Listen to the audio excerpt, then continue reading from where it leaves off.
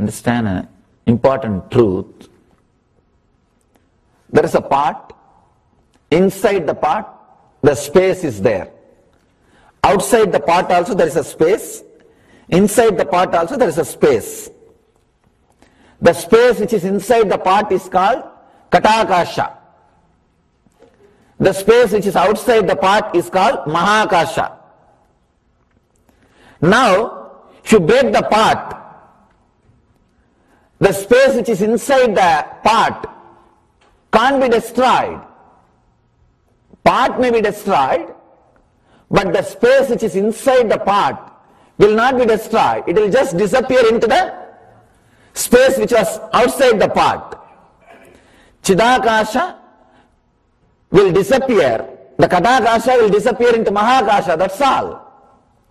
Ghatakasha, the space which is caught inside the part, will disappear into the space which was outside the part. Over. Even the part can't be destroyed. It can only be in a different shape. It will exist in a different shape. You may change the shape, but not, you can't destroy. Ghatakasha disappearing into Mahakasha, you can't call that as a death. Same way, the consciousness which is caught inside your body, when the body is destroyed, relaxes into the consciousness which is outside your body. See, there is a space which is outside your skin, and there is a space which is caught inside your skin. When your boundary is destroyed,